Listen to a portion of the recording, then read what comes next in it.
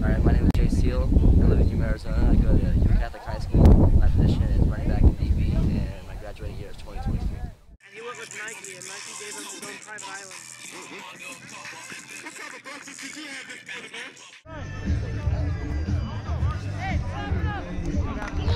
Man, well, all right, Brody, we gonna do it the right way. Come on, take a little walk with me. I know your parents are here, Brody. Where are your parents at? Your only child. She's not leaving you, bro. No, she's not leaving you.